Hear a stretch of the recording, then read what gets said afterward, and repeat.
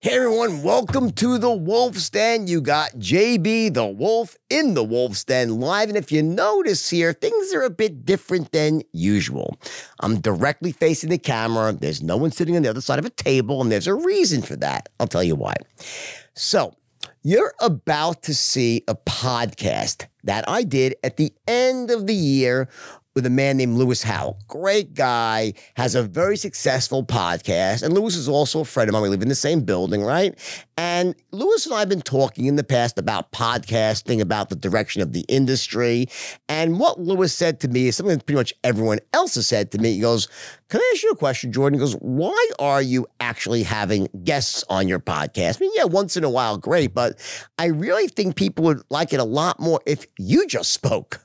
So I'm like, you know, Lewis, I've, I've heard that before. He goes, no, no, I'm dead serious. He goes, if you test this out and the podcast is just you, and whether you're talking about sales training, about life, about motivation, about your beliefs about current events, what's going on in the world, the insanity right now that we all have to deal with the news cycle every single day, social media, what my opinions are, and what I believe the future holds for all of us. If I just did that, goes, you'd probably have a hundred times as many views. You're doing well as it is, but you take this thing to a whole new level. And then every once in a while, when you have a very special guest, yeah, then you bring them on.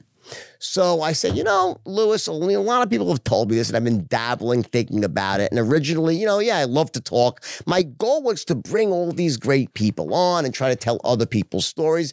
And I, I do have this struggle though, because what happens typically is I'll go on someone else's podcast and I'm like the number one guest they ever had. It soars to the top of the charts, right? Then I have someone else, or that same person on my podcast, and it doesn't do as well. Hey, cause I guess I have a better story than a lot of people, and also maybe I'm just more interesting. I don't know. I'm not here to toot my own horn or anything like that. I'm not here to get high, you know, hoisting my own petard. It's not what this is about. The point was is that Lewis, who I really respect his opinion, his, his point was well taken. I said, you know what? You're right. I've heard this many times before, so I'm gonna actually do that. So for 2020, we are relaunching the Wolf's Den. So the Wolf's Den now is going to be me, yours truly, the Wolf, telling you life as the Wolf perceives it. That could be me telling you stories about my life, making you laugh your, your ass off one day. It could be me talking about what's going on in the news cycle. It could be me talking about business, sales, making money you know, how to improve your money making skills, how to improve your closing skills, and it'll probably a combination there. But what I'm gonna do is for the next few months, I'm to start changing up the episodes. One week, I'm to talk about a certain thing. Could be you know, me telling stories. Next week, it'll be about me talking about what's going on in the news. And then I'll bring in only the very, very best of the best guests. But I really have someone that I think can bring such massive value to you that it will be even more interesting and more valuable than my own podcast, meaning with me talking. So that's the deal. So here's what we're going to do I'm going to take you right now to the Lewis Howes podcast. You're going to check it out right now, and you'll kind of get a sense of what happened during this podcast. I think Lewis is a brilliant guy, and you should check out his podcast, which is really amazing. He's got a very successful podcast. So I want you to watch this podcast, and then starting next week, okay, or maybe at the latest, I might have one more I have to do after that, right? But I'll do two in one week, all right? And then you're to see the new Wolf podcast, the Wolf's Den launch with me doing my thing, which is everybody keeps begging me to do that. So by popular demand, that's what's to happen. All right. So let's go right now to the Lewis Howes podcast. Enjoy this. It's great. And it really is a great podcast, but you'll see why I'm doing what I'm doing right now. And then going forward, you're going to have me to yourself. All right. I love you all. Let's rock and roll. Let's cut to the podcast right now. So they would teach us how to memorize. They would teach us how to take tests, but they wouldn't teach us how to deal with the emotion of failure mm. in school. There was no class on here's how to overcome failure and the emotional trauma that you have in your life when someone breaks up with you, when a business deal goes south, when your parents don't connect with you. And those were the things that I wanted as a kid the most. And I said, I'm going to create this school, the School of Greatness. And I'm going to find these tools and these teachers around the world who can share these principles that they never taught me in school.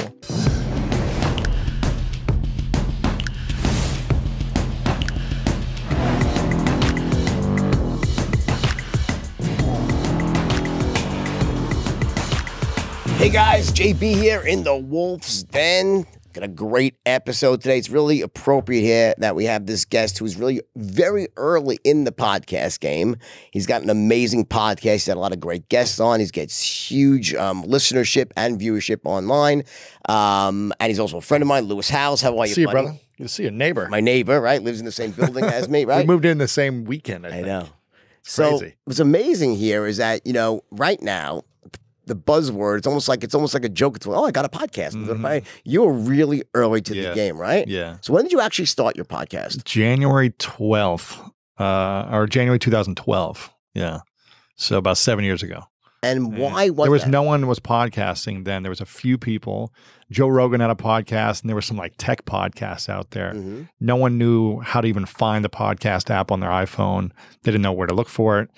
It was really confusing. It was hard to upload podcasts then. Um, but I had just moved to LA for a girl that I was dating, and we broke up pretty quickly. So it didn't work out. Right. And I was in New York City, you know, kind of riding this high. I moved from Ohio, went to New York City, loved my life in New York, moved to LA, and I hated it here. I hated it for the first year. And I was just kind of feeling stuck in my life. All right, guys, another great sponsor here who I love. This is Biz Counsel. Let me explain what Biz Counsel is.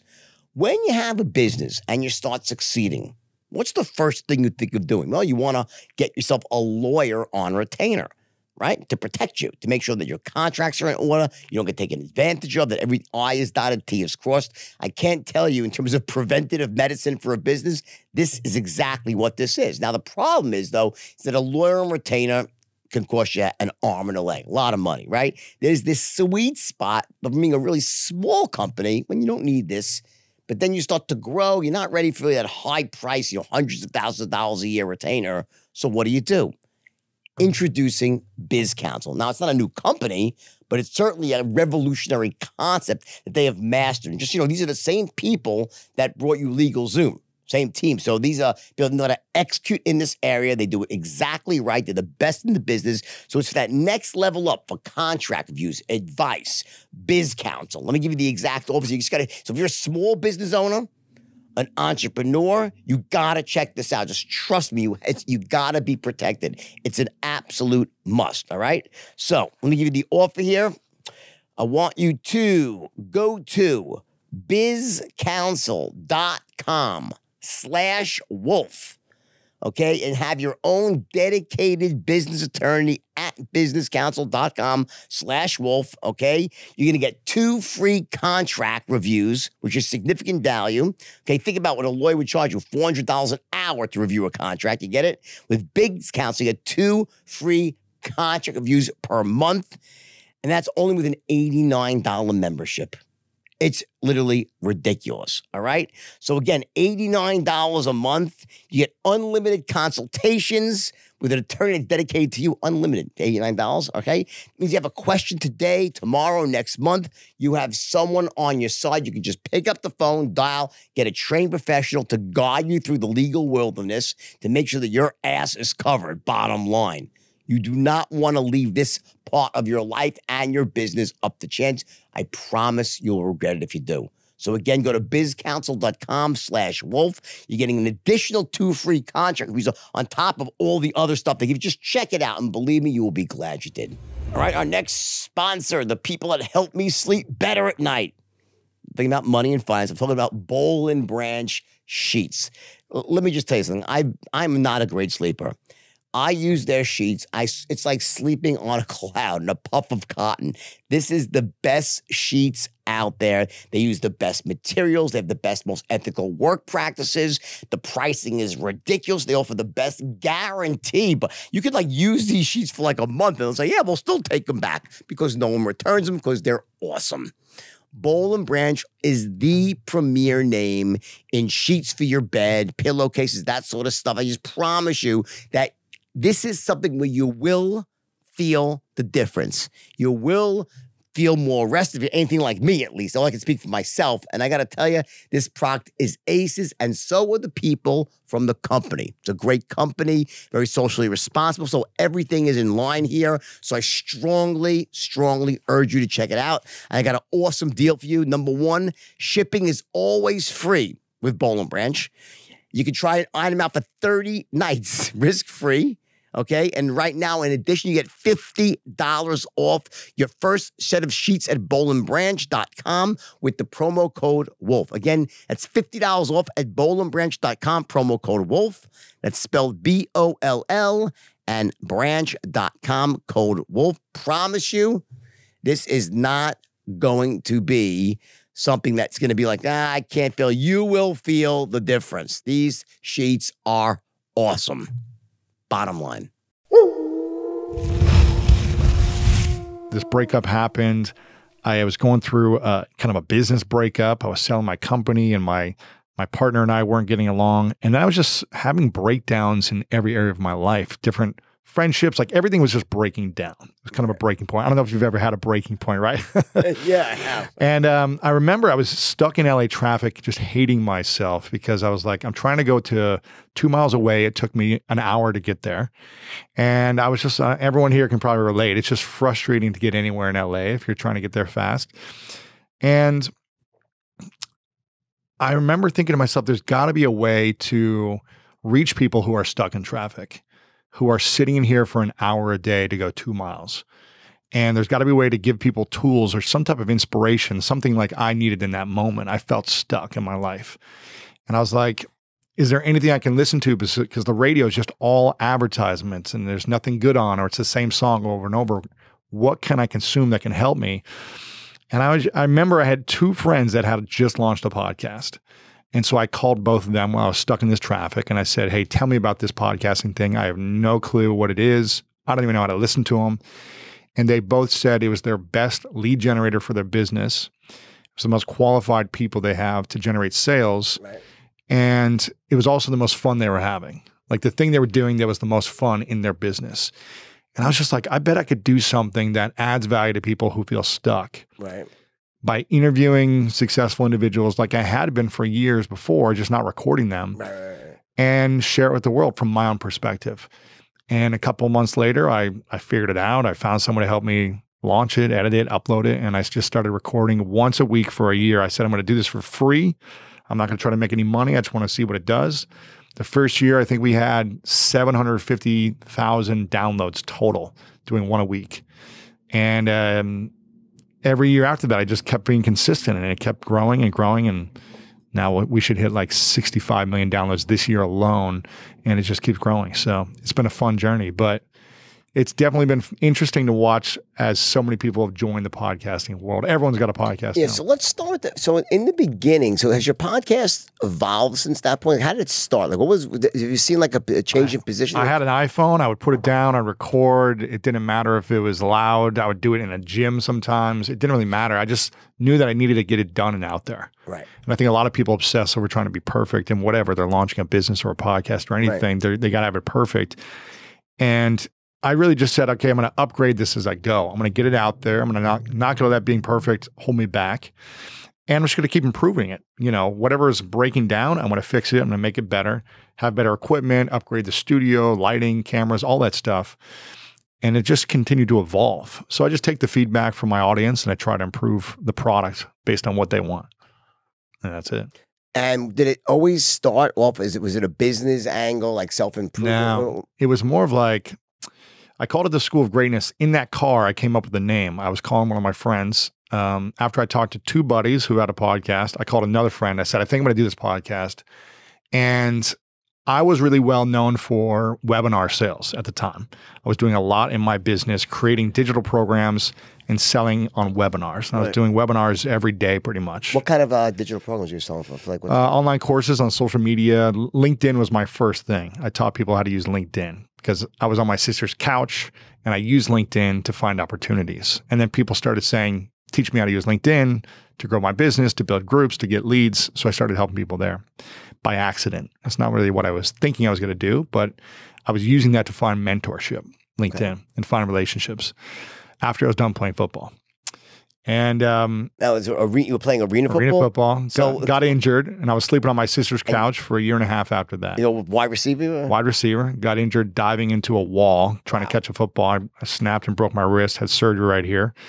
And um, the dream was done. I didn't really know what to do after that. That was my whole life.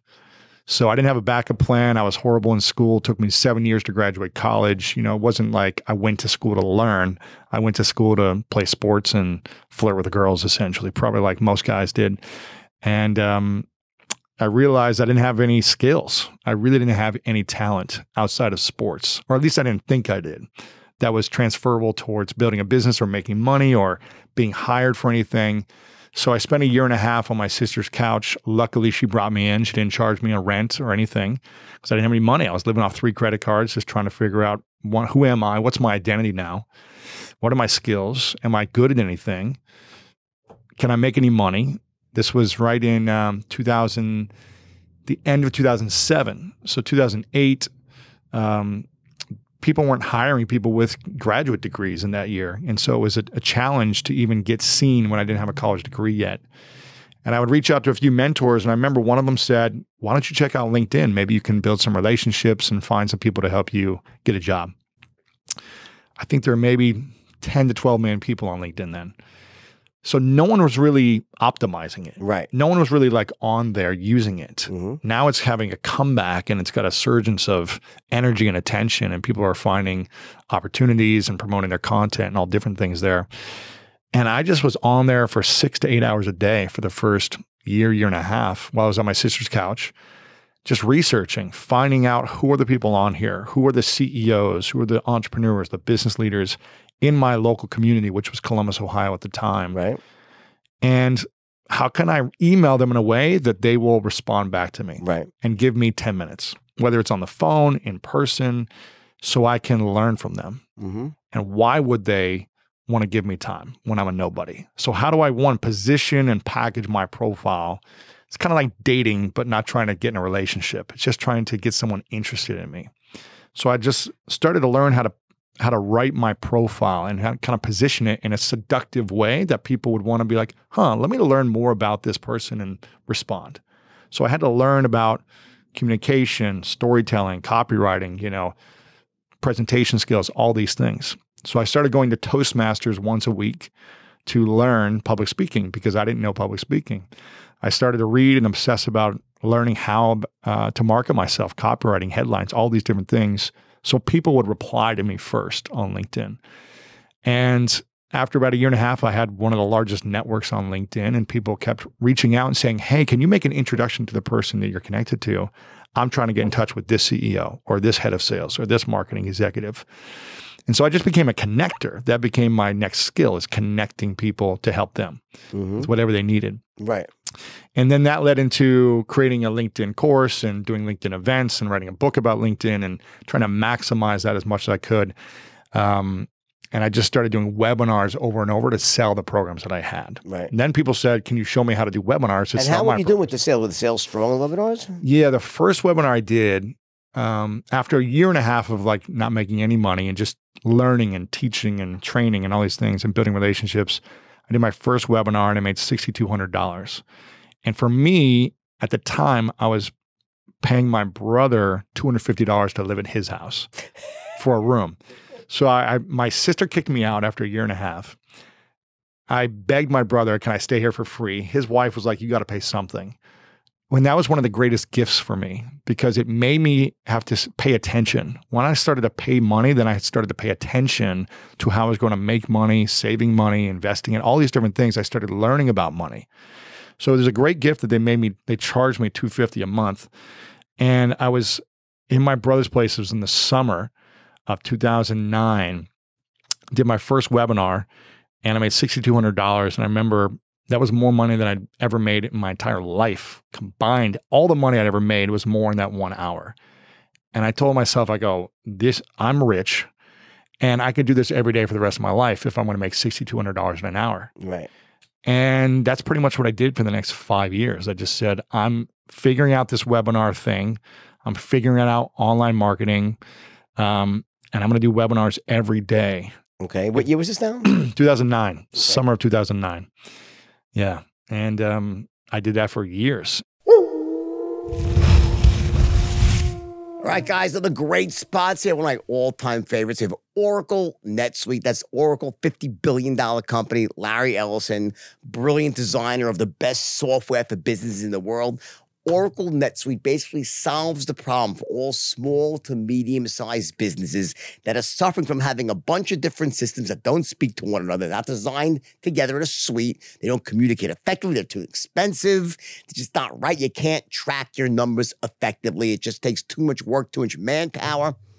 And in the end of the day, you don't get your needs met essentially, if you're not on top of your numbers, then your numbers are on top of you. And I promise you, with Oracle NetSuite, it is your premier solution for one stop shopping for tracking all your financial results, your needs, inventory, receivables, payables, you name it. And this, this is premier, okay? And here's the deal right now, okay, NetSuite, this is Larry Ellison's company, is offering you a valuable guide here, a free guide, valuable insights, seven key strategies to grow your profits at netsuite.com slash wolf. Again, that's netsuite.com slash wolf. You download your free guide, seven key strategies to growing your profits, netsuite.com slash wolf. And I'm telling you, you want to give this software a try because you will be blown away at how effective it is, both on a cost effective side, time effective, and simply enhancing your business as a whole. You do not want to be operating a business without this. It's awesome. All right, our sponsor, Zapier the company that connects all your other online products and software programs together, right? When I first heard about Zapier and they wanted me to start, you know, doing commercials for them, I said, no, I don't really know the company. I don't feel comfortable. So I asked my team, who's like the tech people, they're like, we use it for everything. I'm like, oh, really? They said, we love it. That's the story. Zapier is one of those programs and products that operates behind the scenes. So if you're a business owner, an entrepreneur, you might not know about it. But I promise you, not only does your tech team know about it, they're probably using it, but probably not enough. And if you're not using it, then you should be, because my people tell me they cannot live without it. It's great stuff. Okay. So I want you to go to zapier.com here right now. Okay.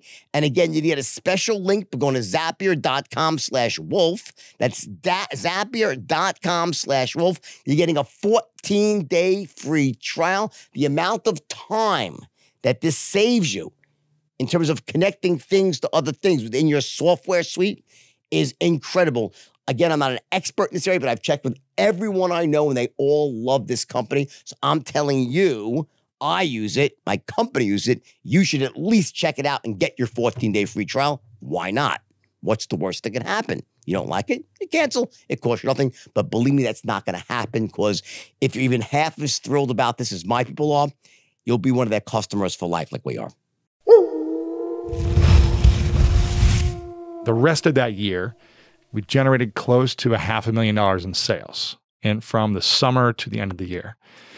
And then the next year, I think we did like 1.3 or 1.4 million dollars in sales. I had a business partner that I was working with to help me with some of this stuff.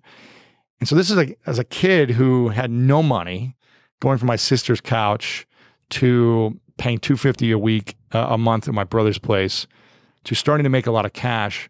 I was just like, I didn't know what to do with it. I just saved all my money because I didn't want to be broke again.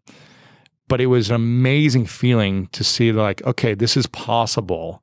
But I had to put a lot of energy and time in into building an audience, into mastering something. And I spent a lot of energy building that. So, Awesome. Yeah. And so what was so the the idea with the podcast was just just one day you said, you know what, I'm gonna did you where'd you hear about it? So I I did this for many years where I just started doing webinars every week, right? And started to make a lot of money. I think the next year we did two million and two and a half million the year after that. And I just got burnt out doing webinars every week, selling the same thing over and over. And we started to create other courses and products, but it's essentially I was just like, okay, I'm I'm just selling constantly. And I'm selling the same presentation pretty much over and over, saying the same stories. And it was fun for a while, but then I just got burnt out. I was just like, okay, I've got some money in the bank. I've been doing this over and over. This is not fulfilling me anymore. This was challenging at first, but now it's not fulfilling. And as I was going through this kind of breakdown with my business partner, the girlfriend, friendships in life, I remember thinking, what's the next thing I want to do? What's the next thing I want to do in my life? I've got some cash. Uh, I've got some status in this little industry. Like people know who I am. Right. I've got a small audience. Like I've got credibility. I'm starting to speak on stages, whatever. But it wasn't lighting me up 100%. hmm And the thing I loved doing was learning from world class athletes, coaches, people that I'd been around my entire life as an athlete. So I always studied the greats in sports. Right. And a lot of people would ask me, like, Lewis, how did you accelerate this these results financially so quickly in business without business skills? And I said, all I did was use the knowledge from sports and from great coaches and great athletes. And I just applied that to my life because that's all I know. So I said, what if I could interview these friends of mine who are world class athletes, coaches, who've done incredible things with their bodies, with a team in front of a world stage? What if I could share the secrets that they have with people in business or with people who are have families or moms or dads or teenagers? What if I could share these things that I've learned from other people? And I said, I want to do this. I don't want to make it a business podcast. Everyone said you should do a business or marketing or online marketing show. And I was just like, that's not what fires me up right now. Right. And everyone thought it was stupid. I remember calling it the School of Greatness because it was like, It could be greatness in anything, right? I was just like, I wish I was horrible in school. The, the the things that they taught me in school didn't really help me, but it was the lessons from coaches and on the sports teams and Like, from for example, be specific. Like what type of stuff? Like when you say, I mean- you learned along the way. in school we would have these scan I don't know if you remember scantrons, but we'd have these scantron tests and it was essentially you, you fill in the little. Exactly, the little bubble. And for me, it was just like a way of, it was so analytical that I couldn't comprehend the questions. I couldn't think about the answers. I couldn't remember what I was learning in these books. It was too analytical for me that all it did was force me in ways to cheat. It's ways to find out how can I look at someone else's page. I became great at cheating on homework, papers, and I never felt good about myself Right. but it was a survival mechanism because I couldn't pass any other way. It didn't matter how many tutors I have. It didn't matter how much my mom helped me study for homework. It didn't matter how much I had note cards and prepared hours and hours. I could work myself to death and I wouldn't get good grades. It just wasn't in the cards for me. They- so they would teach us how to memorize.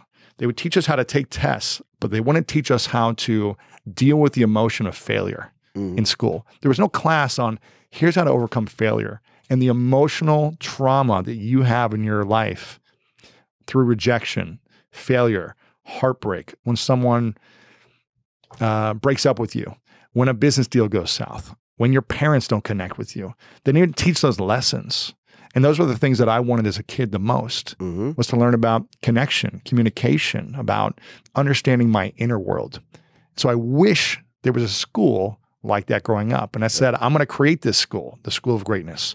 And I'm going to find these tools and these teachers around the world who can share these principles that they never taught me in school. Got it. Maybe there was a leadership class in college that Mm-hmm. taught me something, but it wasn't consistently throughout school. It's like how to deal with the bullies on the playground. They never taught me that in school. So how would you so like, getting specific here? What would you say in your opinion? You've been at this a long time Mm-hmm. now, right? What's your opinion? Like if you had to break it down to let's say five sort of things that like lessons for greatness, living Mm-hmm. Yeah. a life of greatness, and whatever that might. I think it's different. Every person's definition is a bit Yeah. different, right? But uh, there- are, it's got to be some overarching principles that you've identified over the years, right? the greatest I start with athletes because the greatest athletes in the world to become a world champion they have to have a clear vision so they're clear on what they want Right. the olympians were clear for years they didn't just say like Sure. oh why don't we make the olympics next year no it Watch them- themselves run the race and win a thousand times when they ever cross the exactly Sure. but it took them 8 10 15 years of having that clear vision and the greatest business leaders greatest salespeople the greatest parents have that clarity of vision as well. This is a basic principle. This isn't isn't something new, but this is what I've learned from most people is without having a direction of where we want to go, we're going to be wandering in no man's land. And no man's land gets all of the vultures that are coming after the the dead meat, waiting mm-hmm. for the dead things to to occur. And so when we aren't clear on what we want, even if it's like I want to get clear in the next three months of what I want to do. You don't have to have this grand vision for the next 20 years of your life. It can be a six month vision, but clarity of vision of where you want to go is the first step. Now, that doesn't mean it's going to bring you ultimate joy and happiness and peace once you know where you want to go but it's better than not knowing where you want to go. Mm-hmm. So that's the first thing is clarity of vision. Um, all the greatest athletes have learned how to overcome adversity and turn their adversity into their advantage. So you hear this from a lot of the great athletes who who succeed or the great actors or business leaders. They had some type of adversity or multiple adversities. You've had much adversity as well, and they've learned to turn it into their advantage, their story. It's their uh, the moment in their life that really they had a choice point. I'm going to fall back. I'm going to move forward, and I'm going to use that adversity to my advantage. Um, they have these routines and habits that support their vision. There's no way to achieve world championship status in anything without a routine. You can't try to do something new every single day and get there. Right. So there's got to be some type of routine and discipline mm. along that path, these habits. They have some of the greatest coaches. I don't think I could be here without great mentors and coaches um, from every stage of my life, mm-hmm. in every area of my life, from relationships to my physical body. You've got a coach, and, and I don't know if you're still the trainer, but he's on vacation right now. Exactly. Yeah. Yeah. But um, you know, at every stage, having those coaches, the greatest athletes in the world. There's no way Kobe, LeBron, Michael Jordan, these guys would be where they're at without the coaches that pushed them and held them accountable when the stakes were high. And I'd say the the fifth thing, I think the fifth thing is um, I believe the greats, the ones that truly make an impact, live a life of some type of service. They have something higher where they want to impact people along the way. They may do it in different ways. They may not be giving back to charities, but they're looking to share their art with the world and impact people that way. They may not be donating tons of money, money, but they're doing something to impact people. And I think that's some of the, the key principles of greatness. Awesome. Yeah, yeah. And in terms of the actual podcast business now, so you've you're yep. like one of the early pioneers, uh-huh. right? Mm-hmm. So what do you think about the growth of the industry? I think it's amazing. It's amazing. There's over is it 600 or 700,000 podcasts now. And it's amazing in the fact that it creates more awareness for everyone. So anyone that's got a podcast, but it's also more and more challenging to build and retain audience because there's so many shiny objects. Right. There's so many different shows you can listen to. So why are people going to listen to you or to me? You, why would they keep sure. showing up every week? Do you ever do you teach people how to start podcasts, or you haven't gotten into that? Uh, I haven't done that yet. I mean, I'll just share it kind of briefly when I'm when people ask, but yeah. I haven't created. What do you think in terms of, in terms of this is a popular thing? What do you yeah. think um, the secret is? Like, so, you know, I can listen there's no barrier to entry, right? So Zero starting now. a podcast, it's just it's real. I mean, that, that's mm-hmm. not the issue. So anyone can, can buy a mic or two, or even as you said, you can even do it really down yeah. with an iPhone. Yeah. It's not that bad, right? Uh, you can even forego the video portion if mm-hmm. you want, right, and just be audio. Um, you could put it on Spotify and iTunes. It's basically yeah. Easy. next to nothing. Anchor, you can put it up for free right away. Right, yeah, right. What do you think the secret is to having a successful podcast? Mm. Like, hmm. what do you, in terms of like, obviously, okay, so listen. What does success mean? I mean, in terms of, well, let's look at success as, as people listening. Like, there was an artist. I don't yeah, care yeah. if they, they, they think it's great critically. I want people to look at it right, and, right, right. listen to my music, right? Right. So, like, you want people to listen, right? So, what do you think the secret is to essentially launching a podcast and then building and slowly building and retaining an audience? Uh, the first thing, I mean, these are all basic principles, but the first thing is most people stop after six months. And if you're going to put so much energy into launching and creating something, like you've got to say, I'm going to do this for at least two years and give yourself a chance because there's so much noise. There are millions of people that follow me, and and most of the people still don't subscribe to my podcast, even though I'm talking about it all the time. And there are people that say, I didn't even know you had a podcast. right? And I've been talking about it for seven too, years. By the way, and I just thought of mine recently, but still, people say, "Oh, I didn't know you." I'm like, "Really?" I don't even know, right? And people have been following me for years. Someone messaged me, someone I've known for over 25 years, who follows me on Facebook, who I knew since I was 13 just listened to my podcast for the first time a month ago. Really? Because and, and, she even she wrote this long message publicly on Facebook said, I've known you for years. Uh, I've known about your podcast since you launched it. I've never listened to one episode till now because you finally had someone that I was Ooh. curious about. Interesting. So it's just like you've got to one be consistent. You've got to two be so interesting that people need this information. So captivating and interesting. Either you need to be that, or you need to have the topics that are, or you need to have the people that are. Right. So you've got to create something that's different because if you're doing an interview show, why would I listen to your perspective if you have the same people that everyone else has on? Unless you can get something out of them hmm that they don't talk about. I'll tell you a funny story. So you're gonna love this. So we become friends. You're my building. We speak, and you and you DM me, right? Yep. And then, eh, so you sent me a really nice DM, and we just started communicating, and we see each other every morning. And then, like, I went, I was in Mexico City, right? And. When were you there? Oh, it's maybe about um, three weeks ago. Okay. All right. You're gonna die when you hear this. This is the funniest story ever. So, and I go to a, I get invited to a bullfight. Hmm. Now, I'd never been to a bullfight. I didn't know what it was about, right? And um, so whatever. So I go to this bullfight. It was pretty shocking, right? When I went there, but I was actually friends. I, I I had met this bullfighter at dinner the night before. He was this famous bullfighter named Ponce, a very famous guy, right? Like a rock star there.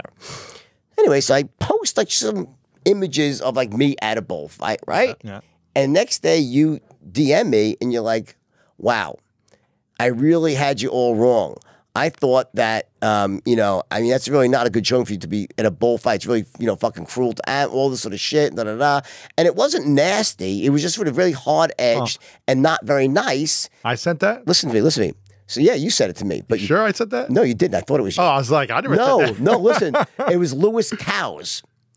It was like right. Two It was a fake. It was a fake person. just a, or- someone I don't know. It was someone that had Oh. almost the same name as you. Wow. Listen, So anyway, so I'm like, wow, I feel really bad that Lewis is offending such a nice. So I said, well, let me explain myself. I said, I don't know anything about bullfights, and before I condemn anything, I want to at least experience it once. I also learned a lot about the society, and yes, frankly, it was shocking. People clapping and cheering as this innocent bull's getting. right, right. I'm going back, and I'm really trying to explain myself to you because I respect you, and I felt bad that I offended you, right? Because I because I'm just went to a bull, someone dragged Right, me to right, a right, right. bullfight, and I'm going, and I really explained myself to you, and the guy, and then you respond to me. Wow, that was really I appreciate the response, and um, I'm glad now that I understand because I now I, I kind of respect you more for that. I'm like, all right, thanks, but back and forth, back and forth, and then, you say to me, uh, "Oh, hey, um, I- I'd like to talk to you about something. I have an, I need some advice from you."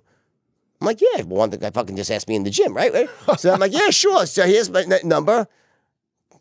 The phone rings. It's a four plus four four London number. I'm like, where the fuck Lewis is in Huh. London? I get in the phone. Hey, but it's up. I'm like, that's not fucking Lewis. wow. I was thought the guy was you the whole time. And I was this whole thing about bullfighting. Where I'm supposed to- I Wow. thought it was because I respect you, so I'm like Sure, trying to sure, sure. explain myself to you. He's a fucking random dude Wow. that didn't like that I was in a freaking bullfight. I went through this whole thing. His with, name was Lewis? Or what? Cows or something. No way. It was like one letter off, but it was like it was like messages going back and forth, and I'm busy. My eyesight's not that great. I'm like, oh, it's Lewis. I'm like, wow, Lewis is real. He must feel really strong about the animals, you know, rights and shit like that. I'm like, you didn't strike me. And by the way, you know, listen. It was kind of fucked up the bullfight. Like I Yeah, never yeah, been sure, to one, sure. but who's gonna judge me for going to one bullfight? It just seemed like an odd thing. This right. anyway, that I was, was my going to say, I don't remember saying anything. I know, I, but I swear to God, I was going back and forth with you for like a day. I was trying to turn you around. Like, I'm Wow. a, no, Lewis, I'm really a good guy. I, you know, I wasn't, I wasn't there poking the bull myself and shit like that. You know what I'm What are- saying? what I was the- just sitting there like am- amazed that as the bulls die, everyone's clapping and cheering. Like, wow, what a culture. you know? How was the phone call then with this stranger? Did you? I, I said, you oh, motherfucker. I said, you know what? I said, today's your lucky day. Wow. I said, I thought you were a friend of mine.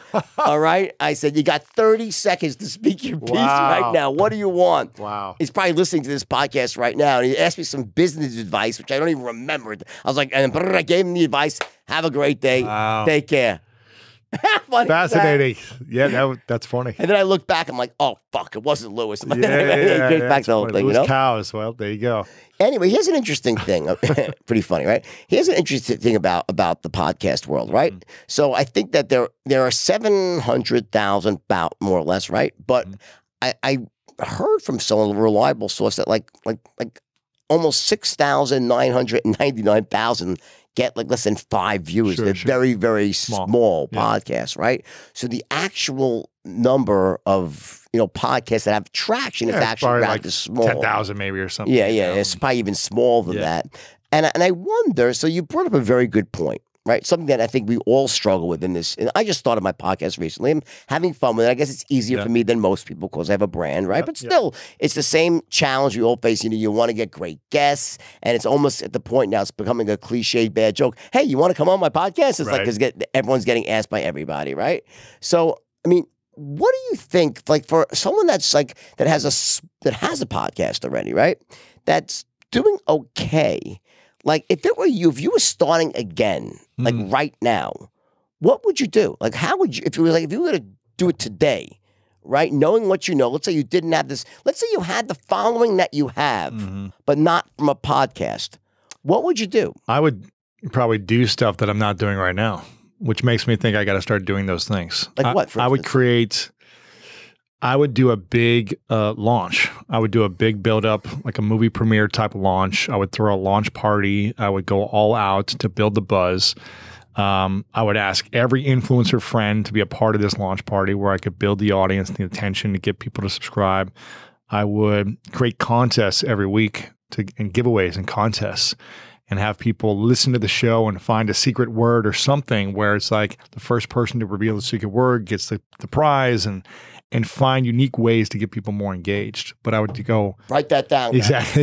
No, no, it's good. It's a good Yeah. question because you know, I think we're, we we started doing some of that now. I said, Mm-hmm. you know, let me start testing some of that stuff out with actually going out there and putting apps, doing some advertising about it, just to drive awareness. Because Uh-huh. Yeah. I think it's you know, it's like the, the challenge I think for anyone right now is just there's so much noise and so, So much clutter. so much. Right, and as you said, you know, it's like pe- you know, to- it's not just about building your market, but almost maintaining or retaining the people, right? retaining it because there's just so many there's so many episodes to listen to out there. So many people you might want to listen to but how much time do you have to listen to 30 45 60 minutes? Where do you see the future of the industry going right now? I, mean, I, I gotta believe that there's going to be some sort of shift here in the mm. sense that it, it- it's like the Wild West right now, mm-hmm. right? It's at that point where, like, you know, it's like almost a free for all. And I think that the, the Wild West aspect that I think that intrigues me is that there's probably some really great podcasts out there, there are that no one knows about. i think the the, the future is higher produ- production more scripted uh, you know the ones that are doing great are the nprs the wondery shows those are the ones that are have original scoring with music scripting transitions. It's just like it's not just let's turn on the mic and talk for an hour Sure. and, and put it out. They're they're storytelling a lot better with the music everything everything's together. And they're doing a package deal. They're trying to package it into a tv show to let tv help promote the podcast. They're doing touring all this different stuff. So it's kind of a 360 approach towards a show and taking it to a new level so with these bigger networks coming in and buying podcast or buying the rights to podcast mm-hmm. with the wonderies of the world the nprs of the world building out original content and investing a lot of money in this original mm-hmm. content that's going to be at the top. So if you're an interview show and you're not thinking, how can I increase the production value? I'm not saying you need to spend a ton of money, but how can I optimize the mm-hmm. production so that it sounds more high quality? That's what's going to stand out, in my opinion. So just investing in being innovative, trying new formats, not sticking to the same thing all the time, and really investing in the audience and what they want, and just creating different ways to make it stickier for them, whether that's merch or events or programs or something to get them consistent in your ecosystem. Because once they find another show that's got a better ecosystem, why would they stay with you? Or they might be in a few shows, mm. right? But you can only listen to what, three, five, seven shows maybe in a week. Right. If you've got one hour a day to listen, maybe you can listen to seven different shows Yeah. a week. So you just got to be thinking, how do I how do I continue to level up? Or, you know, people are just revealing everything about themselves in podcasts, and that makes it fascinating. So how do I continue to open up and and be less surfacey in any way, hmm and be more real, more vulnerable, more open, like you have in your books and everything about all the different challenges you've faced Right. if it's an interview show, talking more about that. So, Mm. Do you always? but I think also, I mean, not to cut you off, Sure, but no, I no, think please. how many, um, how many shows do you week do you do a week? That was my question. I was going to ask you. how many do, do you do a week right now? Well, I actually, so I, I, I think I, I made an, a tactical error in the beginning mm-hmm. because I started to really enjoy doing it, and I went from one to two shows a week.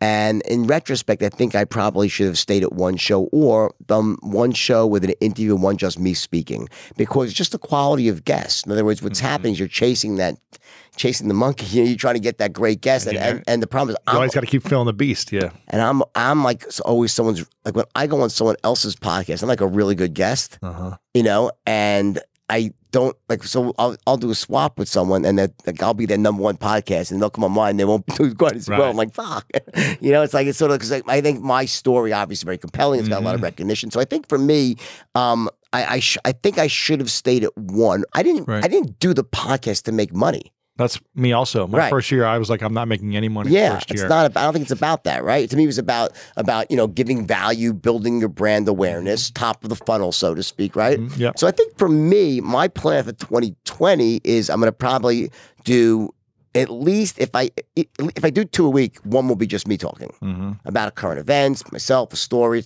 Like that. How many do you do right now of just you? To- None, None. none. Why do people come here? To to oh. Um, well, because I get a big listenership, I guess, and also they, you know, I guess the celebrity factor. They want to, you know, I think I'm, I'm a, pretty decent interviewer. Though I had to really, in the beginning, I had to stop cutting people off. Like now, I let you speak. It's pretty Yeah. easy for me. I've trained myself to just to just let the other person. Be like, wait, wait, no, no, no stop. but, but do people come to your show to learn about the questions you ask guests, or they really like when you speak up and you share a tactical advice or a story or something about you? And when you're on other people's shows, yeah. you're the biggest hit. Mm. So they come back to you to hear more from you, but Yeah. then you give them someone else. Yeah, so in the in the it depends on the individual, right? So Mm-hmm. sometimes if I have a, a guest who's not it's a bit, it's a bit weaker, where they don't talk as much, I'll do a lot more talking. But when I get a guest, someone like you, I, I, I just gotta I ask you a question, and there you go. Yeah, I yeah. let you speak for five to six minutes. I didn't Sure. say a word, and you told an interesting story, and it was good, right? But that doesn't always happen. Sometimes someone will start drizzling, and like, like. Yeah. oh, it's like it's really boring. I'm like, oh, damn, I gotta do something here to make it more interesting, right? Have you done any that are just you? No, How many episodes have you done? 50. 50. 50. When did you start? Uh, June. June. This year. yeah, This we year. just started. So I just started. here would be the challenge for you is to try a new format oh yeah. and say, you know, and, and try one month of just doing only episodes by you. So here's the so, and we're obviously thinking about this, right? Very seriously, and I'm going to do it, right? And I'm waiting for the new year. You brought up a really good. You said something that that resonated with me. You said about scripted content, right? Mm-hmm. So what I want to do is, I don't want to just get up and just talk. Riff. Yeah. I, I, I can do that better than anybody, as good as anyone, right? I want to combine that with some actual points that have been mm-hmm. already, I wouldn't say scripted out, but just yeah, like- semi scripted. news points, Bullet points. things- bullet points of things that are topical, yeah. that are interesting, and then riff around those. So for that, I need to probably hire one or two sharp young kids. Yeah, It's exactly. energy to exactly. sit down and, right. and, and think of an idea. And, and I get it. And I That's think- why it's easier to interview. Yeah, and exactly. And, and everybody who's met me that knows anything about this industry says you're crazy to do it. You you just talk yourself. Why are you interviewing people? You'll do so much better just talking yourself. Well, I think a combination is the answer. I think uh, I think the audience and the market will tell you Yeah. the answer. I think you, we can think all we want. but if Exactly. you test it, Right? you're going to know based on if people listen more or less. Yeah. If you get half the listeners, then go back to interviews. I did now in the beginning. So what else I did? I started testing like interesting people that were outside what I considered to be my sweet spot, and I Mm-hmm. Said, you know, I wanted to push the boundaries. Sure, sure. So I had some people that were just like, um, I had some B actors that were funny. hmm They didn't connect well with my audience. I even had a dominatrix come on the, the show. What do you think your audience wants? I think they want they they want either a business sales stuff like that, that sort of advice on business and sales, entrepreneurship sales, and they want the wildness factor of my story in there. And I think. But you're trying to are- give them, you're trying to feed them something else. And and essentially I my goal when I started was I was going to bring in all these interesting people Mm-hmm. and you know extract their stories from them, give advice. As you said, you know, I I very often like yesterday I had a guy here who was um in uh, the real estate, you know, um sort of distress sales, and it was it was one of those things where I was really able to use my Mm-hmm. savvy in business to extract his strategies. That was a really good example of a successful outcome. great. but it's not always like that, you know. Yeah, yeah. Um, and but as you said, you're correct. The market will tell you at the end of the day. I'll tell you, I think you should try in the first month of January do no interviews Yeah. and just do only one a week of you teaching something. Right.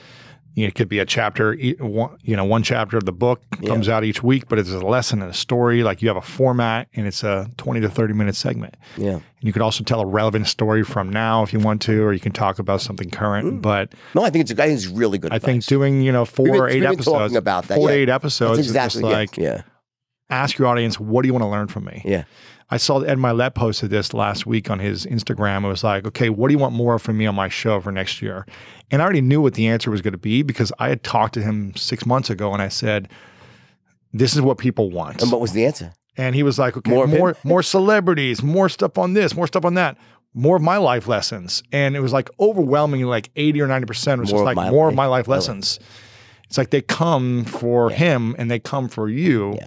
You're right. Um, yeah, and I've been hearing this from people, and you're right. You got to test it, but I think that's going to be the overwhelming winner. It just takes more time and energy and focus, but that will pay off. And I, think agree. that will help your show grow Yeah, bigger than the way it has been now. Sure. I may be wrong, but that's just my well, I think theory. you're right, and we've been all been saying that here. We, we we need to test it at the end of the year. It was a tough few months. I went through a divorce. Yeah, yeah. You know, separation, and um, so that kind of sidetracked me. For I was just kind of hanging on for dear life. For you know that you've been through that as well, sure. right? I mean, I just did a. Well, I haven't been married, but I haven't. Yeah, I went through breakups. Um, but even just like an easy test you could do is my biggest lessons from 2019. Like you could record this today or tomorrow and just say, here are like the five to ten things. Like spend an hour reflecting on the year. And the biggest lesson from my divorce, the biggest lesson from moving into a new building, the biggest lesson from launching a podcast. Like, Yeah. what are the 10 things that you learned about yourself and how you're going to apply it to next year? People want to learn that. Yeah. I did that episode a week or two ago, and it's one of the biggest episodes of the month. Yeah. They want to hear more from me, just like they want to hear more from you. How about the idea of uh, guests? You know, securing good guests. It's the hardest job because Yeah. I'm a I'm the booker. I've Yeah. tried to hire bookers. I've tried to do different stuff, and um, it's a constant job. And especially for me, I'm doing three shows a week, two interviews a week, and then one short form.